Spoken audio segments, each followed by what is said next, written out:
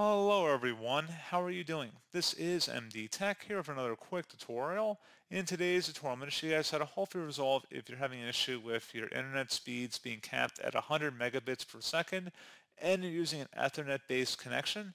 So generally most Ethernet or gigabit fiber connections are pretty prevalent nowadays, so you really shouldn't be capped at 100 megabytes per second. However, I do want to point out that some older cables so if you're using, for example, I believe Cat5, not Cat5e, but just Cat5 or lower, it would probably be capped at a 100 megabits per second, which would obviously throttle your internet speeds. So either Cat5 or Cat6 Ethernet should be able to support at least one gigabit per second speeds. So that's just something to take a look at. So you want to go into the search menu and type in device manager. Best results should come back with device manager here. Go ahead and open that up.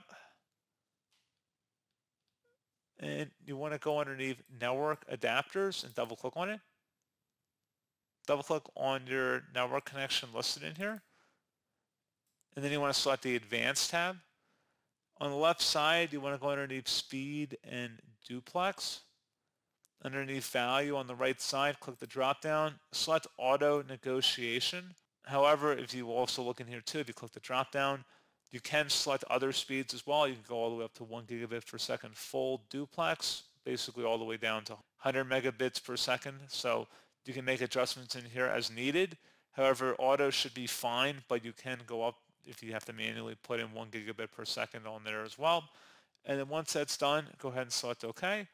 You may also have internet bottlenecks with neighbors perhaps, or your internet service provider just might be experiencing some technical difficulties that are limiting bandwidth. So you may need to contact them as well. So pretty straightforward process on that, guys. And as always, thank you for watching.